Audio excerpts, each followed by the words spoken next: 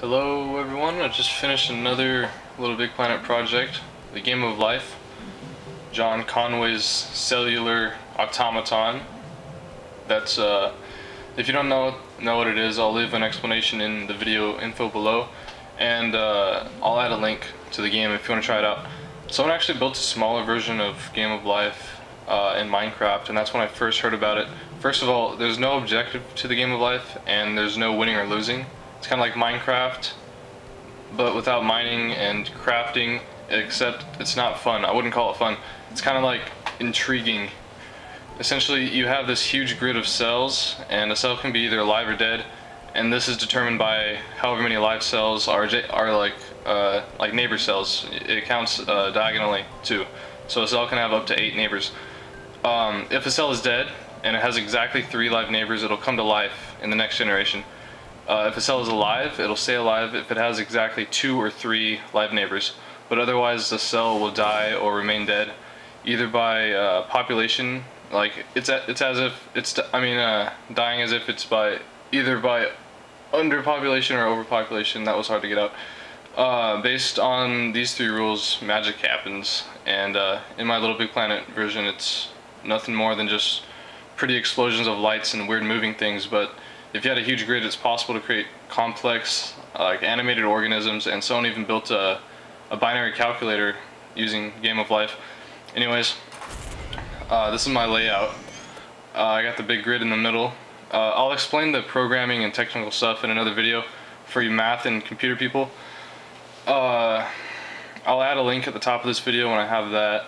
But about this level, you got a 15 by 15 grid. You control this little cursor if you press X, you can toggle a cell, alive or dead, and the game is currently paused, paused so no calculations are going on. Right now, uh, you can set the seed pattern with X, you just make draw whatever. Um, and then when you're ready, you hold R1 and, and it, it calculates, it runs at uh, the set speed.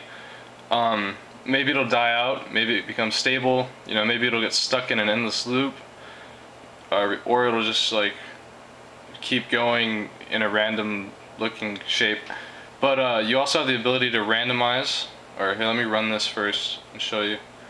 That's kind of, that ends up, you got a stable block right here, and then you got this little stable shape, and they just don't change after that. So uh, you can randomize, if you push square, it um, does that makes a cool little noise. And then uh, push circle you can clear all. Um one thing about this game the random generators I don't like them uh, I'll talk about that in another video I'll make soon about my Minecraft random number generator. I'll finish this video then I'll do the video about the logic gates and probably next up will be the Minecraft random number generator. Anyways it works better than the little big planet one so that's pretty cool I'll save it for that video. Anyways, the pulsing border shows the speed at which the game is running. Um, you can increase the you can increase or decrease the speed by rotating the right analog stick clockwise or counterclockwise. When you do a full loop either direction, you can hear it beep, and that's increasing the speed. So that's uh, top speed, I think. Um, let's see. Uh, uh, if you press L3, you can uh, move faster wait, slow and fast. Uh, okay, um, what else? If you use a directional pad up and down, you can zoom in and out with the cameras. Uh, there's five settings. Uh, if you press left and right, you can change the lighting. If you enjoy bright colors or seizures, that's for you. Uh, but I would say the coolest feature is probably the ability to rewind. So, if you have this glider, this is a glider. That if you go forward you can rewind it. And it loops between the previous four states. One two three four. Yeah. Um uh, I've never messed with memory before. I don't know if this was a correct way to do it. I don't know if a professional would do the same but what I did was store the uh, the binary value alive or dead in a chip inside each of these cells and then uh, each cell holds its own memory, so when you're running the game, you're constantly overriding the saved data in a loop, and when you press L1 to rewind, the direction reverses, and the data is taken out of the chips and placed into the cell logic instead of the other way around. And at every moment, the previous four states are saved. Uh, I originally had it set up to hold the previous five states, but I had to trim some fat because I ran out of memory. And that brings me to uh, more stuff I had to cut out because of memory limitations. Uh, one was the ability to toggle edge looping on and off. So if you have this like glider, uh, when it hits, right now it's, you know, it just hits a wall, collides with a wall and that kills it and it's dead. But I was gonna, I did have the option to, um, you, you can toggle it so uh, you can toggle on and off where it will just disappear off the side of the screen and pop up in the opposite end of the screen over here. And that would have been pretty cool. But I decided to choose, uh, there's like three main features that I wanted to add. One was the looping, one was the cell memory, and one was the last one, but cell memory was uh, my favorite. So the last one was just uh, these loadable, these patterns would be loadable. So you can click on these pictures and it would load them into the grid. Uh, I'll just show you these pictures.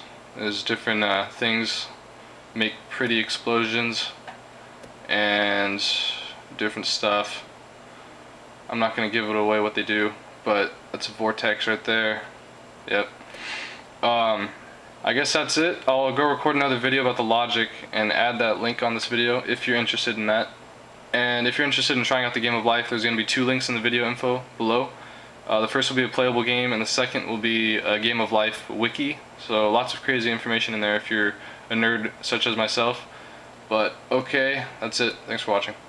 Wait. I didn't demonstrate. Okay. Ready? Here goes. And that's it. Yep. So it's uh this certain pattern is it's called a period 14 oscillator. Basically takes 14 steps for it to end up in the same spot where it started.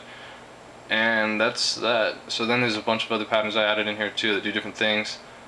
Okay, on to the logic. Click the link if you're interested.